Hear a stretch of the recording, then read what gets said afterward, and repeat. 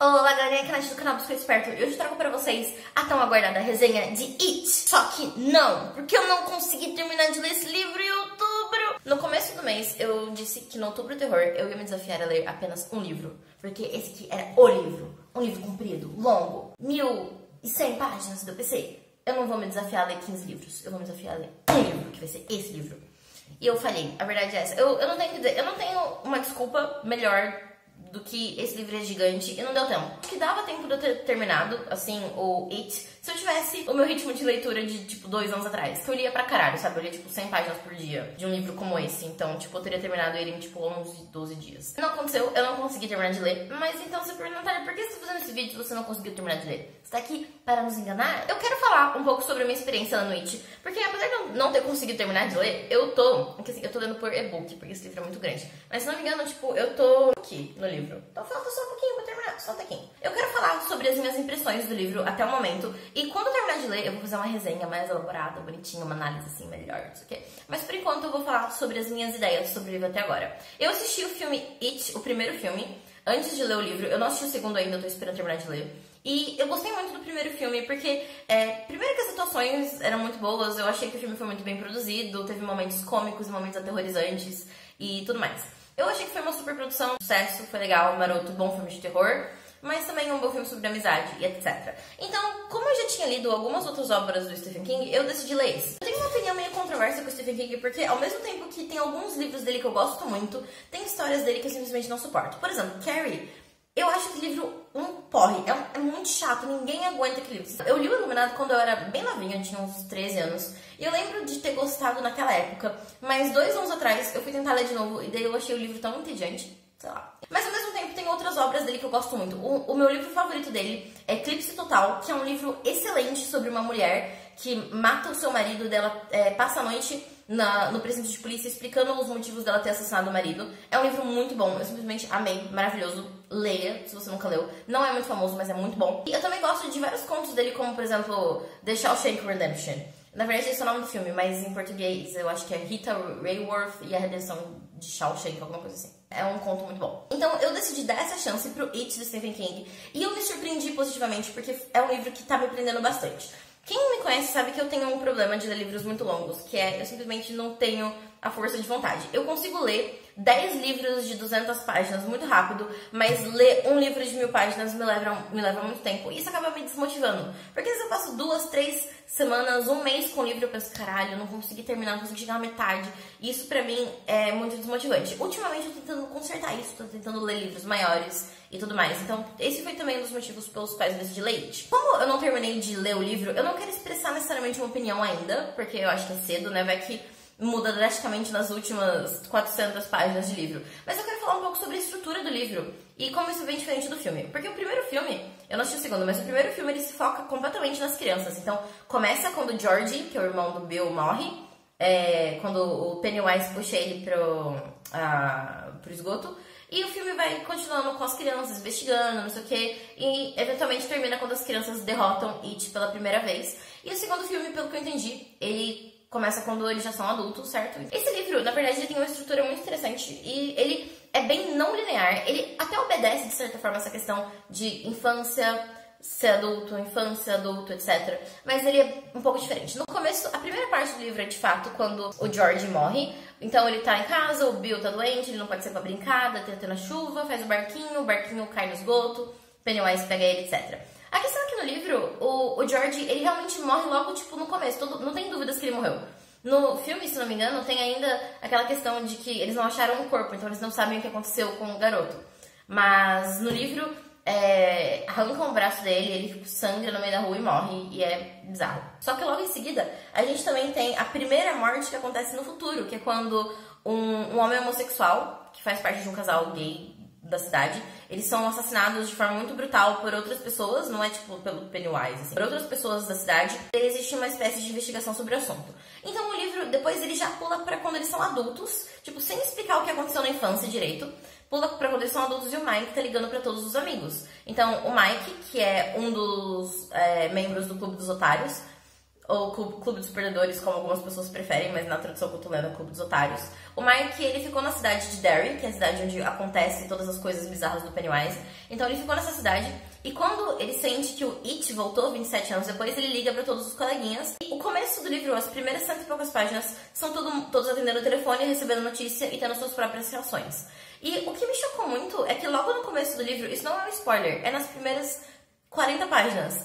O Stanley, que no filme foi tão importante pra, na, na minha visão, morre. Ele começa a suicídio. Não é tipo, Pennywise matou ele. Ele simplesmente descobre que o Pennywise voltou e ele fala: Eu não vou lidar com isso de novo, meus amigos. Peace out. Comete suicídio. No começo do livro, o Mike liga pra todo mundo, pro Stanley, Ed, Bill, a Beverly e o Ben. Todos os atendentes do telefone ficam sabendo que o Witch voltou. E todos têm que lidar com a notícia da sua própria maneira. Depois, quando eles conseguem de fato entrar no avião, no trem, no carro para voltar para Derry, o que acontece é que a gente volta pro passado, para as crianças, e a gente descobre como eles acabam se, se, tornando amigos. E a questão é que no filme isso acontece muito rápido, pelo menos eu tive essa sensação.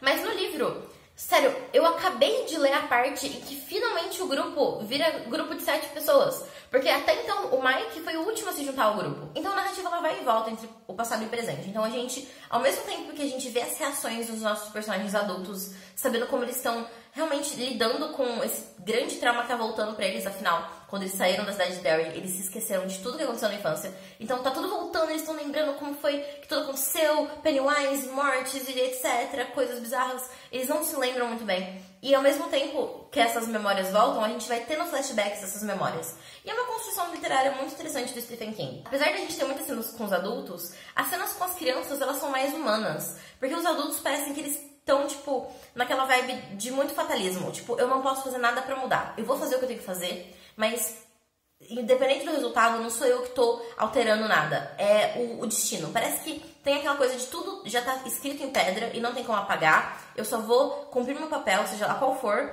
e quando eu cumprir, tiver cumprido meu papel, acabou e é isso. E quando eles são crianças, eles têm muito mais esperança. E isso, inclusive, é um pouco da questão de como eles conseguem derrotar o Pennywise.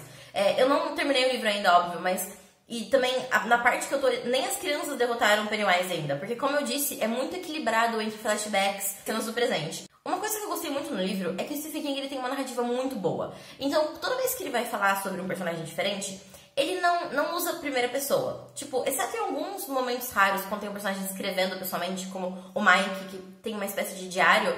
É, fora isso, é sempre terceira pessoa. E os personagens, eles meio que enfeitam a narrativa de forma inconsciente para o escritor, de certa forma. Inclusive, essa é uma técnica literária muito famosa e muito bem estudada até, principalmente no Brasil, porque o Graciliano Ramos, quando ele escreveu o livro Vidas Secas, ele usou essa, essa, técnica. O livro é em terceira pessoa, narrado por um protagonista onipresente, coloca características da narrativa dos personagens, coloca características das narrativas dos personagens que ele está retratando dentro da sua narrativa onipresente. Como se um deus que tá narrando a história, tipo, o Deus onipresente tá narrando a história.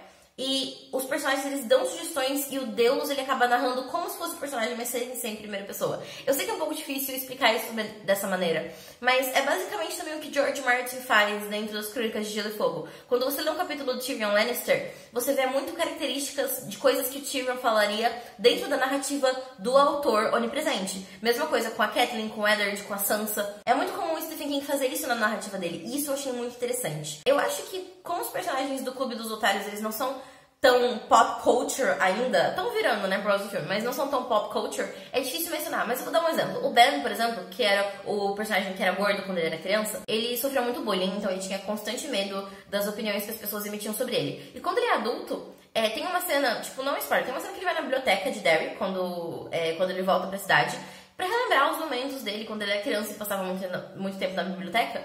E quando a recepcionista da biblioteca fica olhando para ele de uma forma estranha, ele logo assume que é por causa dele ser gordo, apesar dele não ser mais gordo, porque ele tá recebendo de volta as memórias. E a narrativa em terceira pessoa do Stephen King mostra muito da insegurança dele sem ser uma narrativa do personagem. Eu acho que isso é uma escolha narrativa muito boa de Stephen King, que é isso que faz com que as pessoas realmente batam o pé e falem: Stephen King é o autor do caralho. Eu quero fazer uma resenha mais analítica quando eu terminar, espero terminar em novembro, afinal falta só 400 páginas, só 400 400 páginas, é um livro inteiro, né?